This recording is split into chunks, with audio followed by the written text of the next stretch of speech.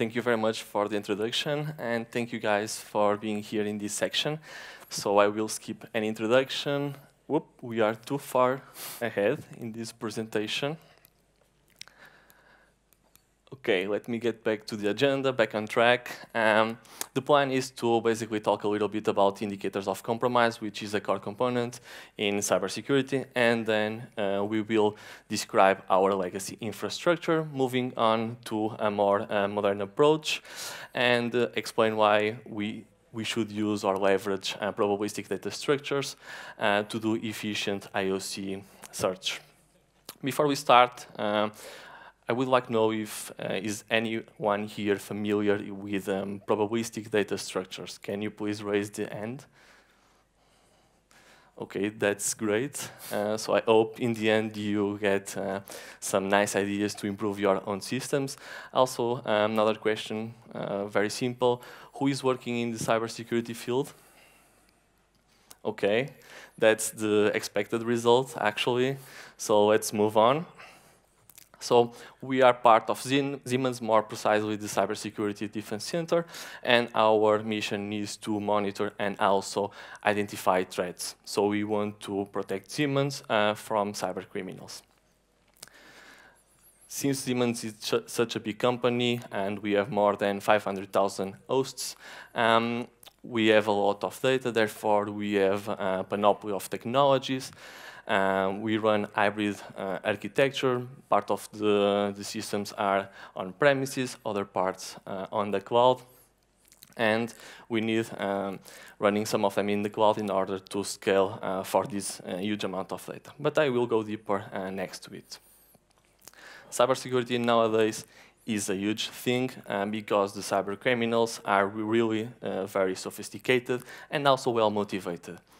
So a typical organization will uh, care about these detection vectors, uh, such as uh, endpoint security, and they will run antivirus, for example, networking security with firewall and IDS, and email or proxy solutions from specific vendors with spam filters or DGA detection.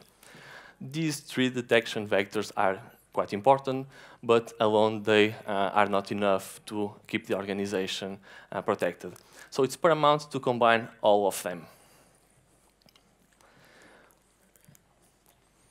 And finally, it's also very important to collect uh, information from these different log sources so that you can do post-mortem analysis. And that's the part I want to introduce you, which is IOC search.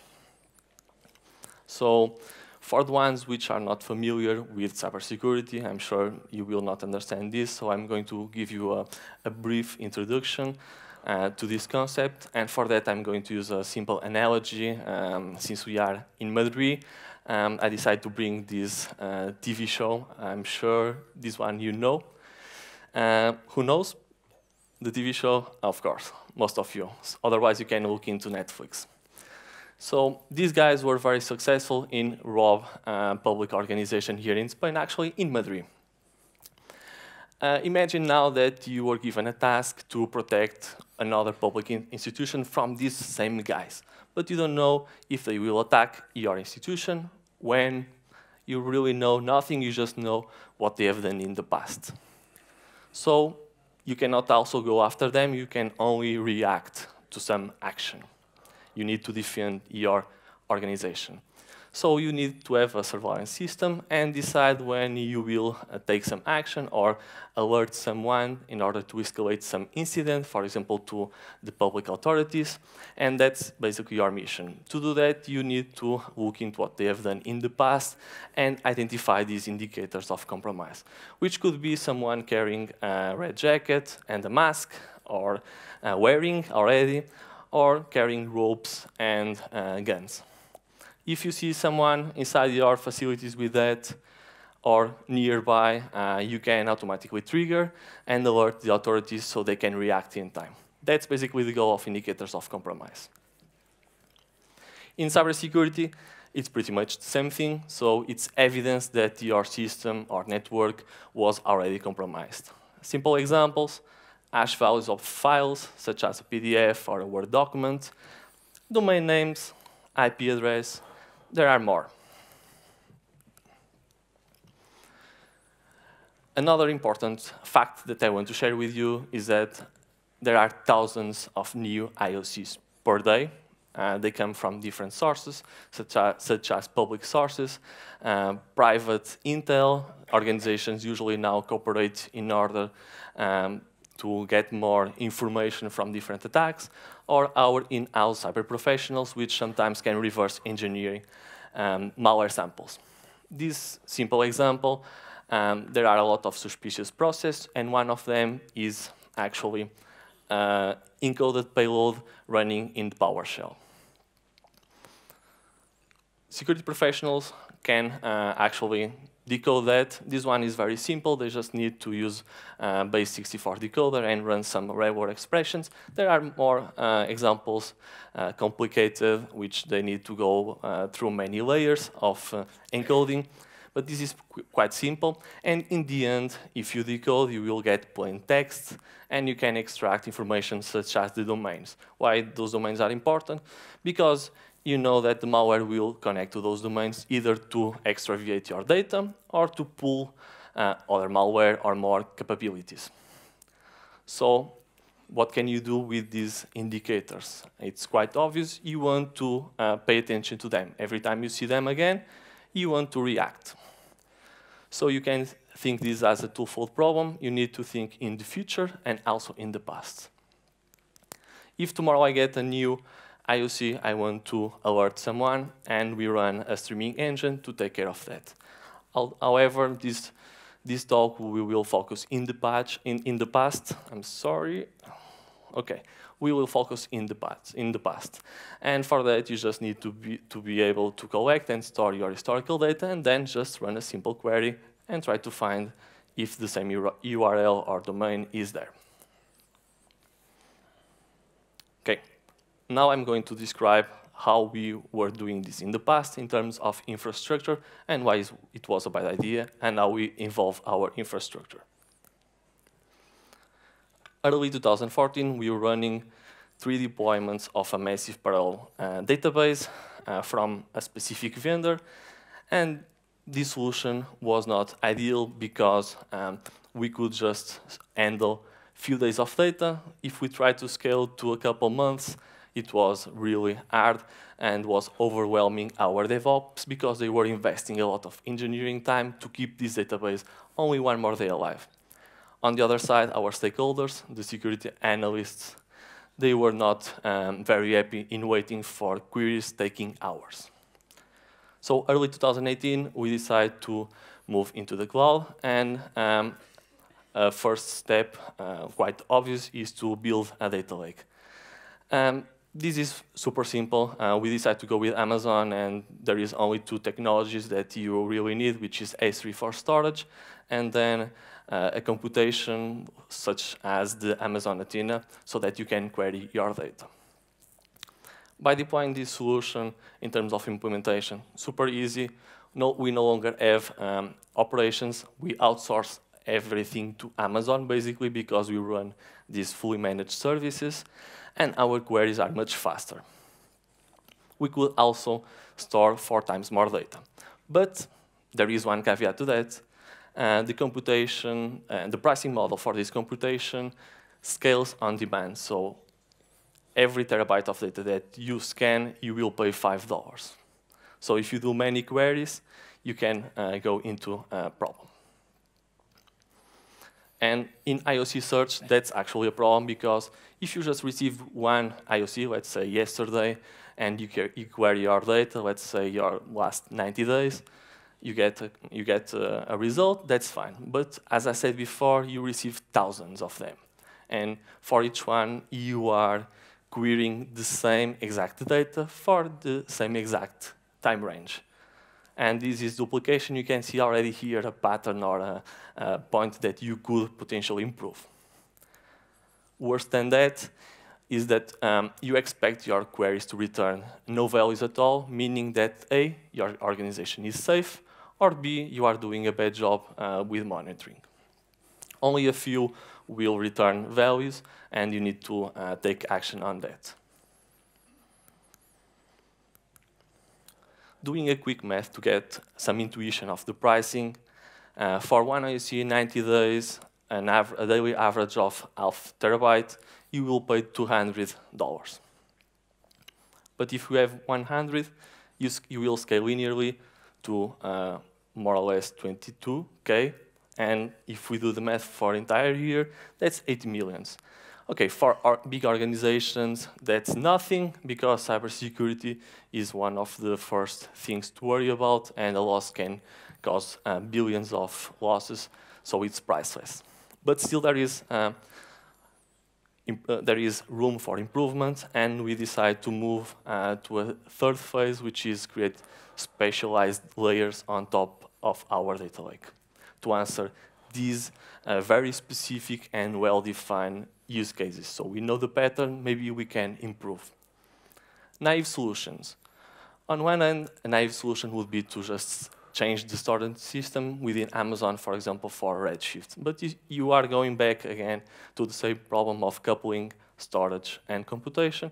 So it, it, it won't be a good idea. And also bear in mind, we have a petabyte uh, data lake, so a petabyte in uh, data warehouse is extremely expensive. Another naive option is uh, why we don't move to another cloud provider, such as Google. I heard about something like BigQuery. Yeah, those cloud providers are super competitive in terms of pricing, so they do exactly the same as Amazon, Azure the same, so there is no really uh, big gap that you can exploit. And the final naive option is uh, storing uh, this information in a key value storage or, for example, a hash map. But these, since we have thousands um, of IOCs per day, it will scale linearly, and you will run out of memory or uh, storage to query these structures.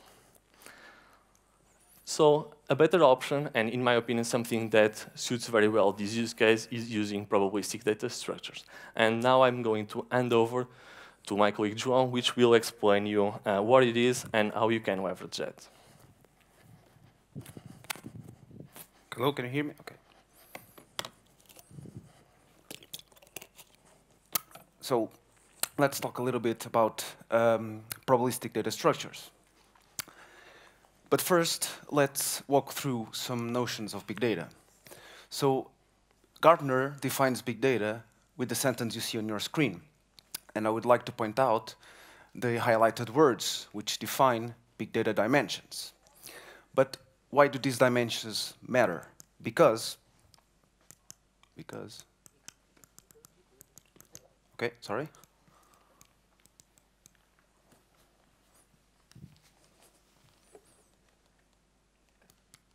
Okay, thank you. Okay, so uh, sorry, why, why do these big data dimensions matter? Because they present technical challenges to our big data use cases. There are a lot of parallel computing frameworks that uh, address these technical challenges. Although, as scalability rises in our problems, these uh, frameworks quiver to meet the big data demands. So, how can we continue improving our knowledge of the data? How can we continue to learn from it?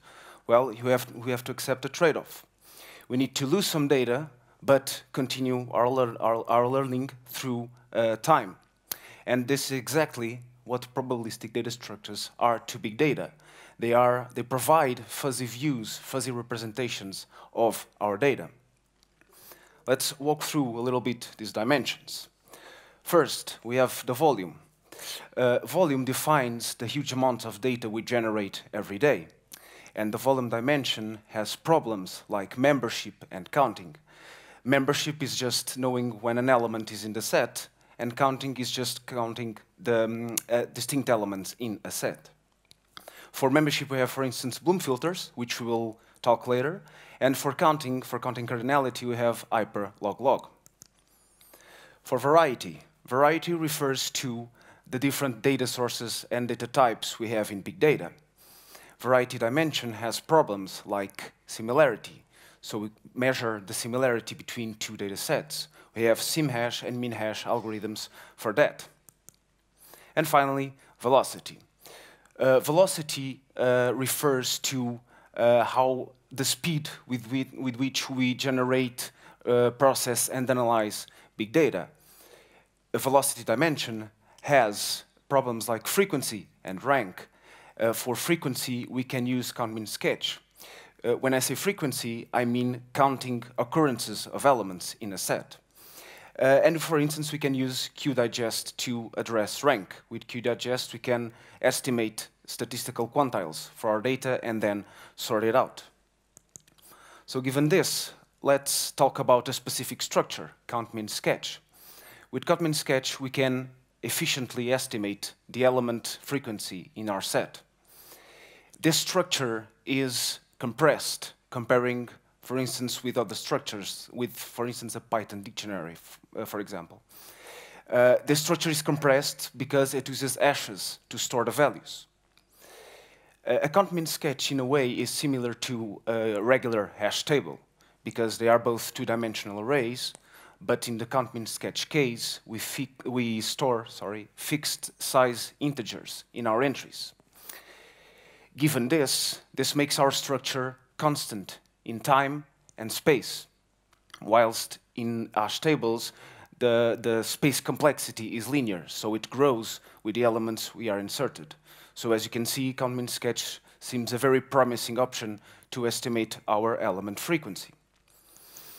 But let's see, let's see how count-min-sketch works. As I said, we have here a two-dimensional array. And the dimensions of this two-dimensional array control the accuracy of our counts. The number of rows, it's just the number of hash functions we will apply to, to an element to generate hash values to um, map to the columns of this matrix. So the columns are the range of these hash values. So let's see how this works. We apply our hash functions to our element and generate hash values in this case d hash values. These hash values will map to entries in our matrix, which we will increment in order to insert that element in our structure. In order to query the, this structure, it's basically the same way. We grab our hash, hash values and map uh, these two entries in the matrix. We retrieve the final value as the minimum of these values, hence the, the name of the structure, which is count min sketch.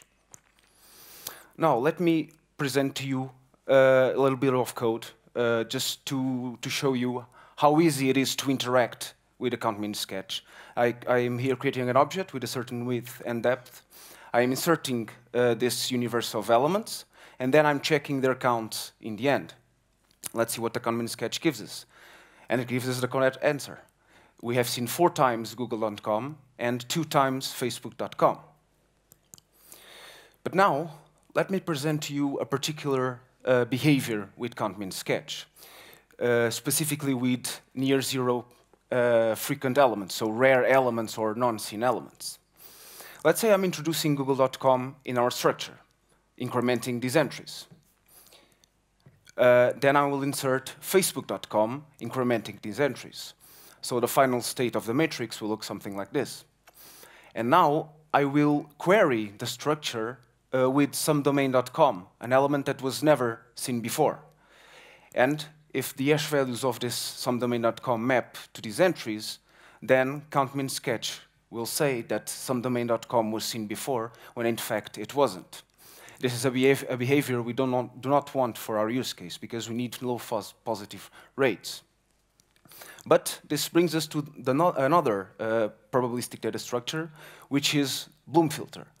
Bloom filter uh, efficiently estimates membership problems, so efficiently estimates if an element was seen in some set.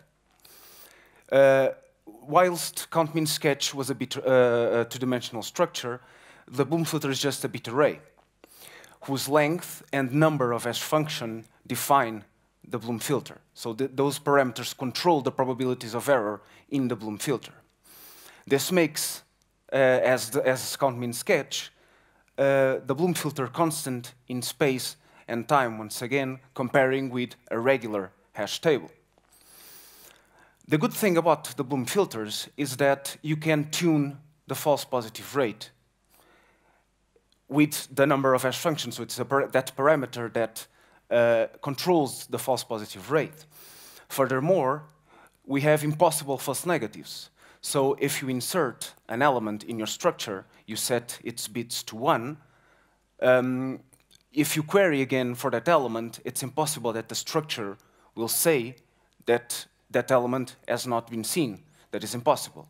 That would be possible if a delete operation was, would be possible, but the delete operations are not possible in Bloom filters because in order to delete an element, you need to unset its bits, and that might temper the structure because other elements might map to the same entry, and you are corrupting the Bloom filter. So a delete operation is not possible within Bloom filter.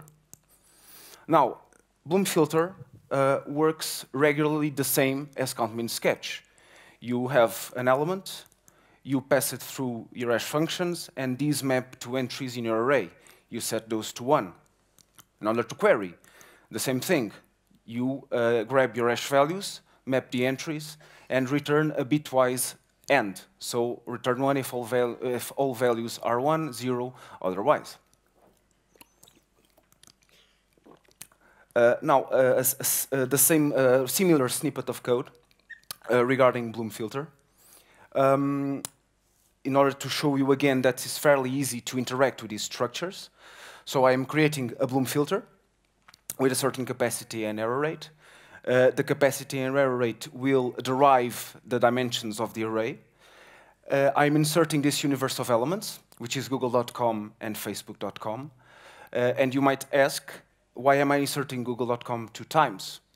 Well, in the insert operation Bloom filter, uh, we have idempotency. So if we insert the same element, uh, same element twice, we'll have the same outcome because we are just, uh, just setting bits. So if we insert google.com, we set its bits to 1, and if we insert again, we're just setting the same bits to 1, so the outcome will be the same.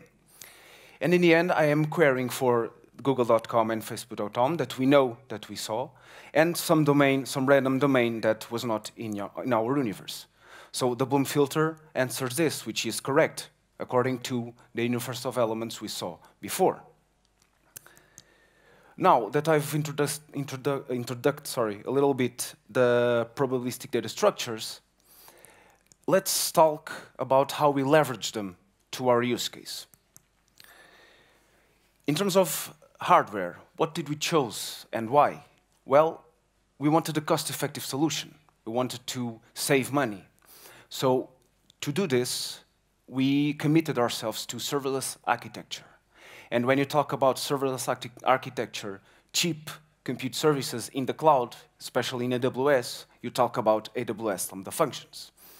Although Lambda functions have limited storage, so we need to be careful when designing our probabilistic data structure backend. But let's see the facts of what we learned so far. Uh, Bloom filters can answer with a 100% accuracy if an element was not seen, and can answer with a high probability that an element was seen, in this case, an IOC. The Count sketch can estimate how many times that IOC was seen. Well, why won't we just join these two structures and leverage the best of them to our use case? By doing this, we can even only store one at a time at a Lambda storage device, meaning that we can increase our structures in such a way that we need only one to fit at a time in the Lambda storage device. So given this, let's see how this would work. Let's say I'm asking how many times was some IOC seen sometime somewhere ago, somewhere some time ago. Well, let's first ask the Bloom filter. And the Bloom filter will state if it was seen with a probability of 99.9%. If the Bloom filter answers negative, well, there's nothing else to do. We just return, we ha I haven't seen this IOC. But if the answer is positive, well, just ask the count min sketch how many times approximately this IOC was seen. And by having this architecture, we only need one structure at a time in our lambda function. But now, how can we dimension our structures? We have our backend, but we need dimensions for the Bloom filter and the count sketch. For that, we need to know a little bit about the cardinality of our IOCs. And the only ground truth, let's say like that, we have for this, it's our data lake. So in order to correctly estimate the cardinality of our, of our IOCs, let's use our data and query values of cardinality for some representative days. Representative days can be something like uh, days with huge traffic in order to have a bigger upper bound for the cardinality. With these values, we compute the average and the standard deviation. And after that, we leverage a, a property from normal distribution, which is the 68, 95, 99.7 rule. And you ask, what the hell is that? Well, it's just a rule that states that uh, a percentage of values is within a band around the mean. What I mean is, for instance, in the image, you have 68.27% uh, of the values are within the average minus standard deviation and the average plus standard deviation. So let's lever this, le leverage this for us and estimate our cardinality, uh, cardinality to be average plus three times the standard deviation. With this, we cover a huge range of possible cardinality values, and we do not saturate our probabilistic data structures. If for some reason this, this value generates uh, probabilistic data structures that might not fit our lambda storage, well, just decrease the factor, and we still have approximately 95.45%.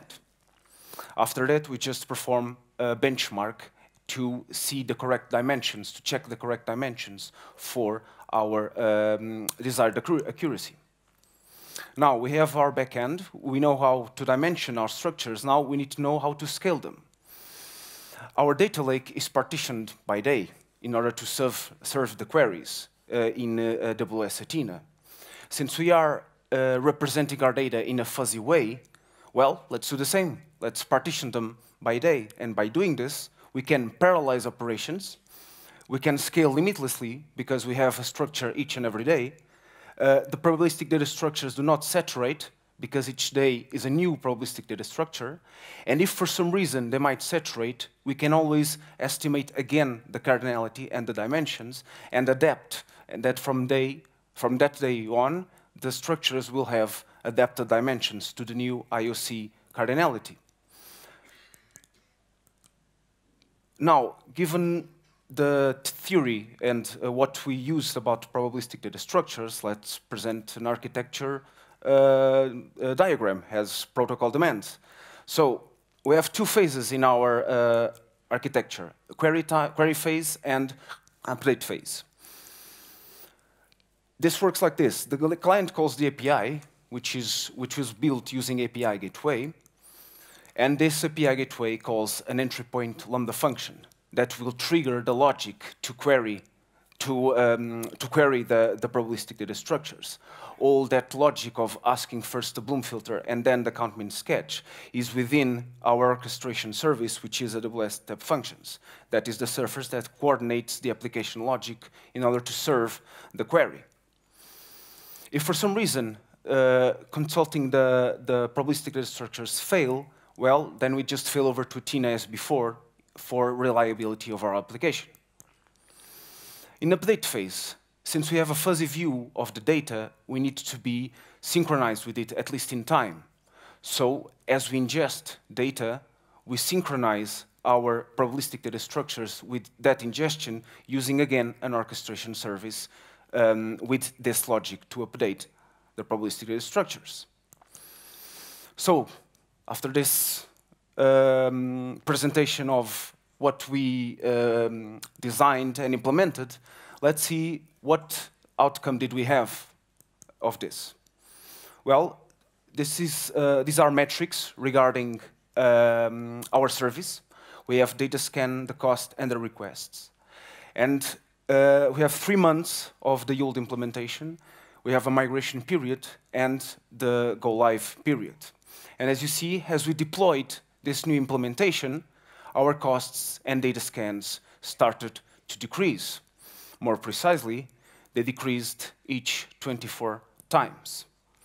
Furthermore, in order to achieve this cost reduction, reduction, we did not need to limit our service, limit our service requests. We did this without any service downgrade. Now, in order to finish the timeline we saw before, uh, we designed a specialized solution to this use case, which is the IOC search using probabilistic data, uh, data structures, uh, which um, resulted in lightning, fa lightning fast queries. So we query in less than a minute petabytes of data. And in terms of overall costs, we reduced nearly 75% our costs, our costs per year. So in overall, we are very happy of the with the outcome of this um, implementation. So in order to finish, let me show you what did we take away during this journey. Probabilistic data structure fit a wide range of big data use cases because they tackle the technical challenge, uh, challenges that big data poses. In order to use probabilistic data structures and answer more complex questions, you can assemble uh, probabilistic data structures and target your demands in terms of use cases. That's what we did in ours. And finally, probabilistic stru uh, data structures are space and memory efficient. So to finish, and to the big lesson we took from this is that if you smart engineer your um, applications, you can save a lot of money in big data and cloud realm. Thank you very much. If you have any questions, we are here for you, please.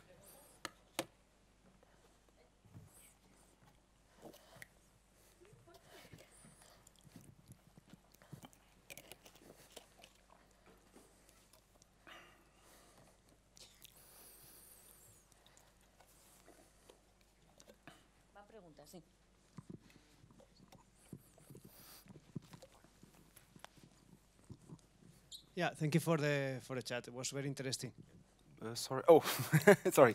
Um, can you tell us uh, how do you store the PDS in Amazon? Like, in which data structure, like DynamoDB or SQL or something like this? No, we, we store it in the in the Lambda storage device.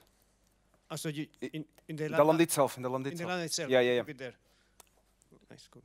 To be more precise, they are on S3 and then you pull uh, into the Lambda container when you want to query them, because you also need to update them, so you need it, it needs to be available for both cases. Okay, makes sense. Thank you. Uh, and just some values in terms of storage. These um, representations, as Ron was saying, these fuzzy representations, they are uh, around um, 200 megabytes. So that's enough to represent a huge cardinality for a specific day or month.